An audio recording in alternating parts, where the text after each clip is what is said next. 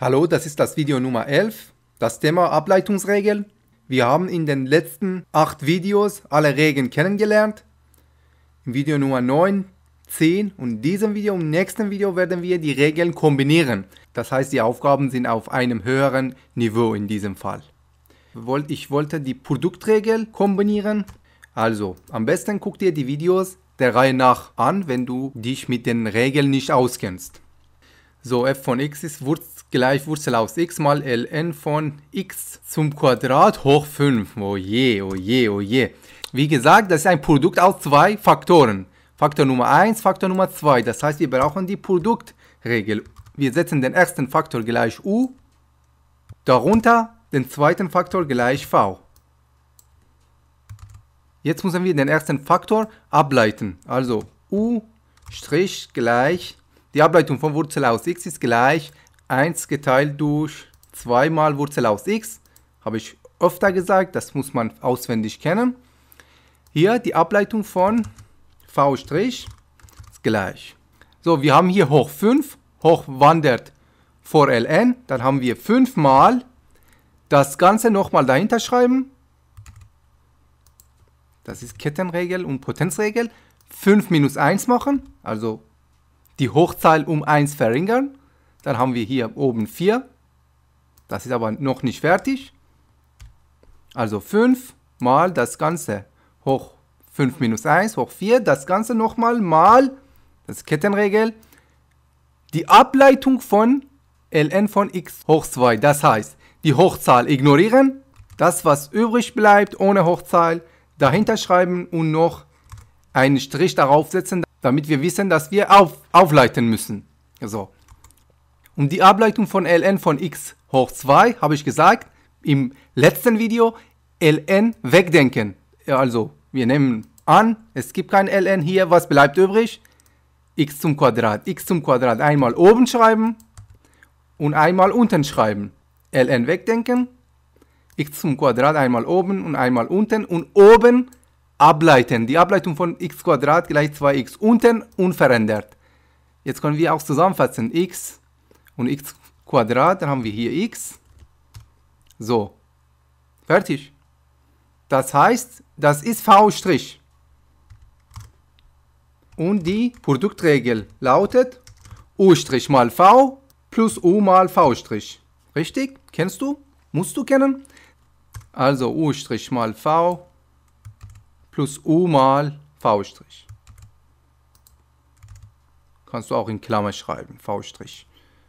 Hier in diesem Fall brauchen wir nicht. Hätten wir hier zum Beispiel plus, hätten wir hier in Klammer schreiben müssen. So, das ist die Aufleitung. Ich will jetzt hier nicht vereinfachen oder zusammenfassen. Das ist nicht mein Ziel. Mein Ziel ist, dass du ein bisschen Gefühl kriegst, wie man solche Aufgaben löst, wenn man verschiedene Regeln anwenden muss. Hier beispielsweise. Genauso haben wir ein Produkt aus zwei Faktoren. Erster Faktor, zweiter Faktor. u gleich e hoch 2x. e ist die Eulersche Zahl und v ist gleich, jetzt muss ich u und v ableiten. u' gleich die e von e hoch 2x. Was haben wir gesagt? Das ist eine extra Videoreihe, wie man die, die e-Funktionen ableitet. Wir müssen hier das, was hier oben steht, ableiten. Also die Ableitung von 2x gleich 2. Das Ganze nochmal dahinter schreiben. Fertig. Das ist eigentlich Kettenregel. So, hier V'. So, wir haben eine Wurzelfunktion. Wir haben gesagt, wenn wir Wurzelfunktion haben, müssen wir einen Bruchstrich machen hier und zweimal, zweimal das Ganze unten schreiben, hier, zweimal das Ganze. Hier habe ich kopiert und hier eingefügt. Und oben müssen wir die Wurzel wegdenken also wenn ich die Wurzel wegdenke, was bleibt übrig? x plus 1 und unten x minus 1, richtig? Und das müssen wir natürlich ableiten. Diese, diesen Term müssen wir ableiten. Fertig. Und jetzt müssen wir noch diese Ableitung machen. Nach, nach welcher Regel? Quotientenregel. Das solltest du selber machen. u' mal v minus u mal v' geteilt durch v zum Quadrat. Im Video Nummer 7, glaube ich, hab ich, haben wir erklärt. Und wenn du auch hier auf, äh, wenn du in die Ableitung hast, auf einfach hier hin ersetzen, einfach ersetzen, dann wieder U' mal V plus U mal V' fertig. Wie gesagt, das ist ganz einfach. So, hier die f von x gleich Wurzel aus Tangens von Cosinus von x. Mhm. Wir haben eine Wurzel. Die, die Ableitung von x gleich, haben gesagt, also ein Bruchstrich unten zweimal, zweimal das Ganze, was wir ableiten wollen. Hier. Und oben die Wurzel wegdenken. Was bleibt übrig? Hier hinschreiben und ableiten natürlich nicht vergessen. Im Video Nummer 9 haben wir das erklärt und 9 und 10. So brauchen wir erstmal müssen wir das, was in Klammer steht. Tangens von was? Von einem Winkel. Hier ist der Winkel gleich Cosinus von x. Hier müssen wir die, Able die Ableitung von Cosinus von x wissen. Also ist gleich minus Sinus von x.